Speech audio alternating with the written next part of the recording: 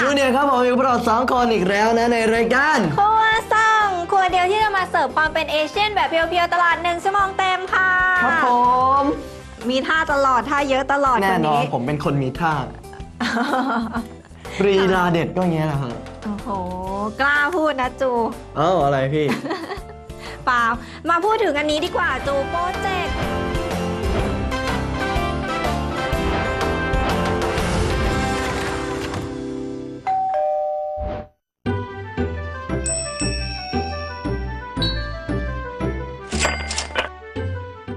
ช่วงทิปบ็อกนะครับ โอ้โห วันนี้มี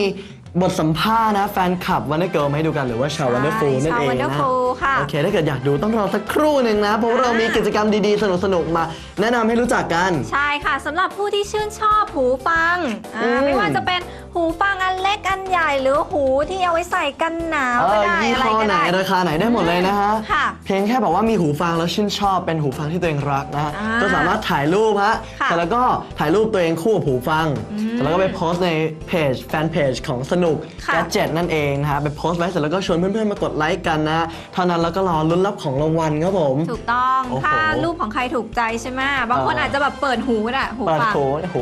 เอาไว้ฟังอย่างเงี้ยนะ ยังไงก็ต้องรอรุ้นรับเอ่อลุ้นรับของรางวัลนะ ของรางวัลเยอะมากเลยฮะ มูลค่ากว่า 2 0 0แสนนะอาทิเช่น Monster Dr. Day Beat Studio แล้วก็โอ้โหอีกหลายอย่างเป็นร้อยชิ้นเลยพี่ โอ้โหยี่ห้อนี้นี่รู้สึกว่าเห็นเขาบอกว่าดีมากใช่ไหมใช่เขาเขียนไว้ด้านหลังนะแบบว่าบางคนเนี่ยเอ่อพลาดฮะเพราะว่าหูฟังส่วนใหญ่เนี่ยไม่ค่อยให้บีทที่แบบว่าถึง ศิลปินศิลปินที่เขาตั้งใจทำเพลงออกมาเนี่ยแบบสามารถสื่อถึงได้อ๋องงปะ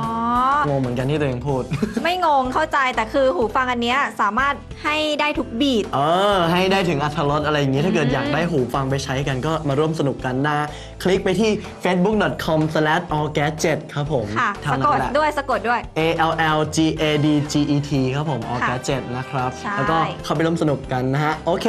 ตอนนี้ก็อย่างที่บอกนะ